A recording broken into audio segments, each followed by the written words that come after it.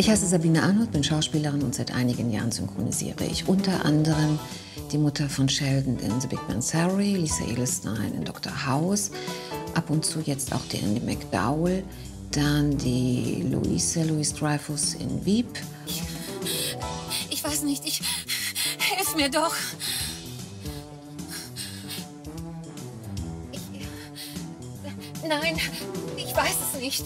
Bitte, bitte. Nicht an, bitte. Hör auf. Wie bist du zum Synchron gekommen?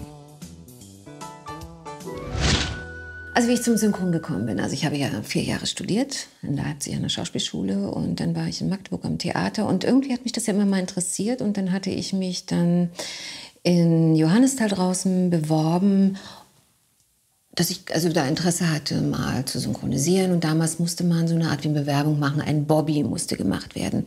Da ich aber in Magdeburg am Theater war, äh, war das immer so ein bisschen schwierig, da mal einen Termin zu finden. Und dann sage ich, ey, ich bin sowieso hauptsächlich jetzt in letzter Zeit an Berlin.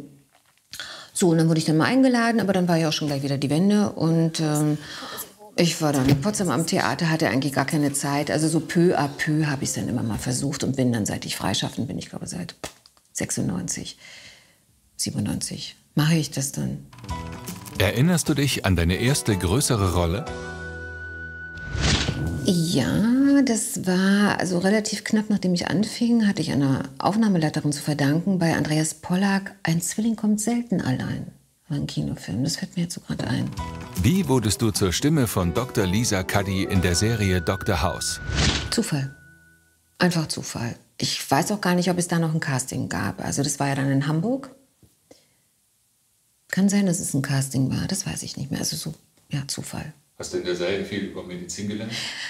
Nee, ich habe eigentlich immer Olle Klebsch bewundert, dass er diese ganzen Namen so fließend aussprechen konnte, wenn ich das mal so hatte. Ich hatte ja glücklicherweise nicht so viele medizinische Begriffe zu sprechen, stolperte ich ja immer schon. Aber ich glaube, Männer sind da viel, gehen da viel leichter darüber hinweg als die Frauen. Ich glaube, die nehmen das manchmal ein bisschen zu ernst und zu genau und äh, dadurch blockieren wir uns. Also ich spreche jetzt so ein bisschen für die Allgemeinheit meiner der Frauen, äh, keine Ahnung. Also ja, also ich habe nicht die Ruspe, glaube ich immer.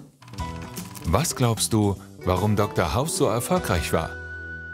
Das weiß ich nicht, weil ich habe ja nicht alle Arztserien je so verfolgt und vielleicht hatte sie mehr Humor. Ich glaube einfach, dass der Schauspieler sehr gut ist. Und ähm, das denke ich schon. Klar, es kreiste sich ja eigentlich immer um den Dr. House hauptsächlich herum. Also ich denke, so das ist es vielleicht gewesen. Und was ich manchmal gehört habe, dass ja wahrscheinlich auch irgendwelche Tipps weitergegeben wurden, die dann in irgendwie einer Form manchmal gar nicht so dahergeholt waren. Die Lösungen der Probleme, denke ich, weiß es nicht. Du bist auch die Stimme von Daisy Duck. Wie spricht man die bekannteste Entendame von Entenhausen? Kann ich, kann ich nicht. Also da brauche ich wirklich eine Vorlage. Sie ist, ich sage immer, sie ist einfach nur blond. Ein bisschen vornehm, blond. Und ja, mehr ist es eigentlich nicht. Was also passiert da bei dir? Ich werde ein bisschen heller in der Stimme und versuche einfach ein bisschen vornehmer zu sein. Oh Gott, hm, also ja. Du warst durch Dr. House und 30 Rocks in zwei Erfolgsserien die Synchronpartnerin von K. Dieter Klebsch. Standet ihr oft zusammen im Studio? Na, das war ja gerade bei 30 Rock haben wir sogar noch am, am, Anfang miteinander vom Mikro gestanden. Aber das ging dann wirklich nicht. Da wurden wir dann geixt, weil das so viele Überlappungen, also das musste dann gemacht werden. Aber wir haben Theater zusammengespielt. Also. Erzähl mal von der Zeit. Ach, äh, sehr humorvoll. Wir haben nicht so viel. Ich bin ja eigentlich so in der Wendephase so dazugekommen. Ich war so 89, 90, wechselte ich von nach Potsdam ans Theater. Und äh, ja, wir haben zusammen Richard III. gemacht. Und seine Frau spielte da die Hauptrolle. Tolle Schauspielerin, die Eva Weißenborn. Ja, ähm, er war ja schon gestandener. Also ich bin ja da, er machte das ja schon, oder macht es überhaupt schon ziemlich lange mit seinem Humor und ist ein toller Kollege. Also ich finde ihn auch so, dass als ich anfing, weil er auch dann so Hilfe angeboten hat, äh, so mit mir durch die Studios so zu fahren, was ich dann nicht mehr brauchte, aber so einfach ein, ja, ein netter und ein angenehmer Kollege. Gab es noch andere Kollegen, von denen du im Synchron gelernt hast? Ja, Also einfach so mal darauf hinzuweisen, wenn die so zum Teil aus dem Off kamen, sich die Timecodes zu merken. Ich weiß jetzt nicht, wer das war, mir diesen Tipp gab. Und dann, klar, war ja auch noch die Zeit, wo man eben miteinander vor dem Mikro stand. Und ja, ich habe dann schon immer gerne zugeguckt, wie die das machen. Vor allen Dingen so langen Riemen zu sprechen und so zu spielen eben. Ja, das, also ich kann dir keine Namen nennen, weiß ich nicht mehr. Thema Xen. Für dich ein Vor- oder Nachteil? Na gut, ich bin Schauspielerin. Also ich finde es schon besser und weil ich schon auch finde, wie schon manche andere Kollegen das sagen, dass man es merkt. Klar, die Technik ist da und das macht es alles schneller. Aber ich finde schon, dass man das hört, dass man nicht miteinander in diesem Fall spricht. Das finde ich schon, dass man das hört. Leidest du mit deinen Rollen mit? Naja, um die Gefühle, wir haben nicht so viel Zeit. Also das, was die Schauspieler haben, wie sie eine Figur entwickeln, wir haben ja gar nicht die viele Zeit dafür. Die muss man sich übrigens nehmen und die kann man sich nehmen, davon mal abgesehen. Aber wie soll ich ein Gefühl herstellen? Also dann, wie gesagt, ja, da kitsche ich mich rein. Also das muss ich schon, damit es einfach ehrlich ist, glaubhaft ist. Welche Arbeit hat dich besonders emotional gefordert? Ja, also das war eine Serie mit der Helen Mirren und das war eine Frau, die aus, dem, aus Ex-Jugoslawien kam und ein Opfer eigentlich, ja, in diesem Krieg. Und sie schilderte das dann. Sie ist mit ihrer Tochter, Quatsch, mit ihrer Schwester gemeinsam nach England und die Schwester wurde tot aufgefunden. Und dann hat sie einen dieser Mörder erkannt, die da in England ein gutes Leben führten. Und das war schon sehr emotional. Legt man das dann an der Studiotür ab oder nimmst du das mit raus? Du, das ist wie am Theater. Also wenn ich dann noch in der Gasse nicht mehr ansprechbar bin oder auf der Szene, finde ich das schon ein bisschen problematisch. Äh, ist vielleicht die Kunst des Schauspielers? Nein, ich habe es nicht mit nach Hause genommen, nee. Du spielst die Mutter von Sheldon Cooper und die Ehefrau von Larry David in Lass es Larry. Wie synchronisiert man am besten Sitcoms? Das hat immer was mit der Vorlage zu tun. Also, und die ist klasse. Diese Laurie Metcalf oder wie die ausgesprochen wird, die ist klasse. Und sowas mache ich übrigens sehr gerne. Also, die so ein bisschen schräg sind.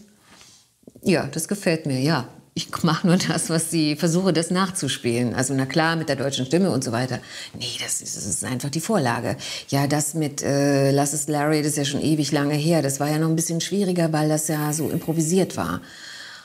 Ähm, nee, aber das hier bei The Big Bang, nee. Und das Witzige ist, jetzt gibt es ja Young Sheldon und da spreche ich ja auch die Mutter. Und diese Schauspielerin ist ja auch die Tochter von der Laurie Metcalf. Was reizt dich am Hörbuchsprechen? Ich lese gerne. Und das finde ich schon schön, so Geschichten, also einfach zu lesen, zu erzählen. Das ist das, ich mache das einfach sehr gerne. Du sprichst auch viele Dokumentationen und Werbespots. Wie unterscheidet sich diese Arbeit vom Synchron? Ich weiß noch, als ich so mit anfing, da wurde, musste man lernen, also zurückzunehmen, eben nicht zu spielen. Äh, glaube, das kriege ich irgendwie mit der Zeit ganz gut jetzt schon hin. Und ich hatte in Stuttgart ja mal angefangen, dann beim Sender, weil ich so viel Zeit hatte. Ich hatte da zwei Stückverträge und hatte einfach Zeit. Dann bin ich dann mal zum SWR oder SDR, ich weiß nicht, wie das sich damals nannte, hingegangen. Und, und das ist eigentlich so, diese Sachlichkeit so darüber zu bringen, das, das ist was Schönes. Das ist, entspannt mich auch mal wieder. Und manchmal einfach vor allen Dingen, weil es gute Themen sind, über die dann gesprochen wird. Bei den Kommentaren oder das, was ich beim Rundfunk dann so mache. Wie hat sich dein Berufsfeld in den letzten Jahren entwickelt? Ja, Schauspiel, also sprich Theater, ist leider eigentlich so gut wie gar nicht mehr. Würdest du das gerne noch machen? Ja und nein. Also ich hätte nie gedacht, dass ich eines Tages sein, sagen könnte, ich bin froh, dass ich nicht mehr fest im Ensemble bin. Ähm, aber ich spiele schon gerne Theater. Hm, eigentlich schon, ja. Was reizt dich am Theaterschauspiel? Ja, einmal, dass man natürlich das entwickeln kann und so Figuren entstehen lassen zu können, sie eigentlich so zu gebären das ist schon das Schöne, das ist so ein Geheimnis. So. Das ist so, was ich toll finde. Ein bisheriger Höhepunkt deiner Karriere? Ui. Habe ich schon mal. Ach doch, hm, naja, Höhepunkt, nein. Ja, gut, ich hatte mal den Synchronpreis bekommen, aber das hat nichts zu sagen. Erzähl mal dann. Und da kann ich nichts weiter erzählen. Für was? Das war ein Film, das nannte sich Die Unbekannte. Ich glaube, von den Tornatore war das. Und sie, die Schauspielerin, ich glaube, weiß nicht mehr, wie sie hieß. Ah, doch, Xenia Rappaport hieß sie. Und da waren ja auch so Geschichten, also es ähm, so glaubhaft rüberzubringen. Es war, glaube ich, eine Geschichte einer aus Ukraine kommenden Frau, die in Italien ähm, bei einer Familie dann so die, auf die Tochter aufpasste. Und sie wurde, wenn ich mich so recht erinnere, von der Ukraine nach Italien gelockt und wurde, wurde dann eigentlich auf den Strich geschickt. Und sie hatte sich in einen Mann verliebt, wurde schwanger und dieses Kind glaubte sie in dieser Tochter, in der Familie, wo sie dann arbeitete, wiederzuerkennen, was aber nicht war. Also dafür hatte ich damals den Synchronpreis bekommen. Eine witzige Anekdote zum Schluss? Habe ich keine. Ich kann vom Theaterphase erzählen, aber Ja, erzähl nein, es gibt äh, immer, wenn ich zum Beispiel Thorsten Michaelis treffe, wir haben auch zusammen Theater gespielt, gibt es immer eine Szene, die wir gerne erzählen. Äh, das war ein Stück von Václav Havel, so ein Einakter. Wir spielten das so auf ebener Fläche, also nicht auf der Bühne, auf einer Probebühne. Die Soufflösin saß in der ersten Reihe. Und ähm, manche Texte ähnelten sich. Und wir saßen so nebeneinander, hier war so ein Tisch. Und es war schon in den Proben, ich musste immer über meinen Satz lachen. Und ich weiß eigentlich nicht warum, weil der ist wirklich harmlos. Das hieß immer, sollen wir Ferdinand nicht unseren kleinen Peter zeigen? Und ich musste jedes Mal, brach ich vor Lachen zusammen. Peter war wirklich der Sohn. Und in einer Vorstellung, also es war dann auch schon so immer so, er wusste, dass ich darüber lache und er beugte sich immer so vor und suchte meinen Blick. Und ich dachte immer, du Arsch, du weißt genau, ich fange an zu grinsen. So, das ging ja dann immer gut noch über die Bühne. Aber da hatte ich dann mal einen Texthänger. Wie gesagt, die Texte ähnelten sich und ich dachte, scheiße, das hast du doch vorhin schon gerade gesagt. Thorsten wurde völlig unruhig, weil er dachte, er hat den Hänger.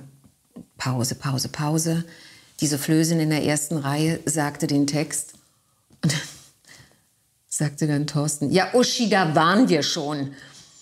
Und ja, dann dachte ich, scheiße, jetzt musste ja doch mal irgendwie weiter. Also weil sich das so ähnelte, ich war ja die Verursacherin. Na, und in einer anderen Inszenierung ist mal einem, in Richard III., wir standen da alle auf der Bühne, und einem älteren Schauspieler bei einer wichtigen Szene lockerte sich sein Gebiss. Und in der Flugphase hat es noch aufgefangen. Es war saukomisch und es standen alle auf der Bühne. Und die, die konnten, drehten sich um bzw. verließen die Szene. Das ich, und ich musste leider ja bleiben, weil ich dann einen Text hatte. Also, du sahst dann nur bebende Körper. Ja, es war. Haben die Leute mitbekommen?